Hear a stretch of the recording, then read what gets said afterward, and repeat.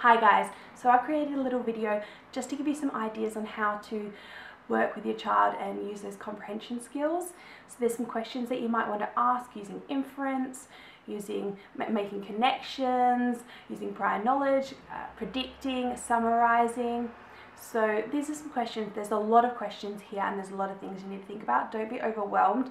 Even if you just watch it and then maybe come up with one question while you're reading with your child next time. That's really valuable. I obviously don't ask all these questions every single time I read a book.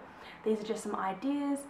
So yeah, these are some things that you can do, practical things, some questions that you can ask to get your child thinking about the book and connecting with the text. So enjoy. Bye. Developing your reading comprehension using these strategies. Making connections. Predicting using inference, questioning, summarizing and recalling events. Making connections. It is important for students to draw on their prior knowledge and experiences to connect with the text. Do you have a cat? What do you know about cats? How do you look after cats? What other story does this remind you of?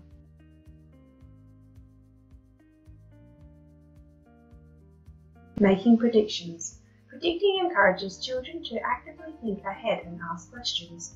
It also allows students to understand the story better, make connections to what they are reading, and interact with the text.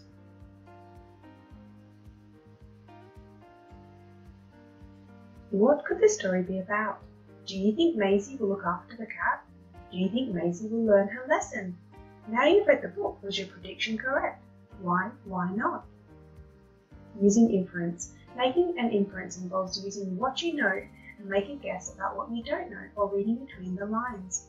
Readers who make inferences use the clues in the text along with their own experiences to help them figure out what is not directly said. Why do you think Maisie did that? When Maisie said that, what do you think she really meant and why? What do you think the lesson of the story is? Do you think Maisie learned her lesson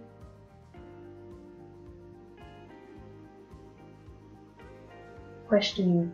Asking questions is a comprehension strategy that helps students clarify and comprehend what they are reading. This is a very effective strategy, especially when reading non-fiction books. What questions do you have about the book? What questions do you have for Maisie and the character?